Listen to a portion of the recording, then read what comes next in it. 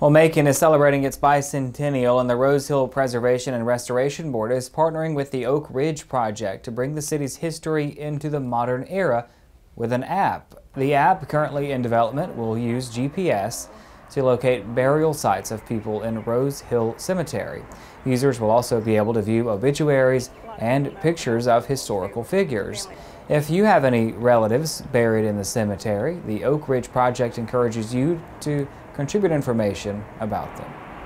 It makes it accessible and right there in people's pockets to where they can just scan a code, find out where their family is at, and then go see them and pay their respects. Some notable figures featured in the app include the Allman Brothers, General Edward Dorr, Tracy Jr., and Little Martha Ellis. The app is expected to be complete by the end of this year and will be updated continuously with new information.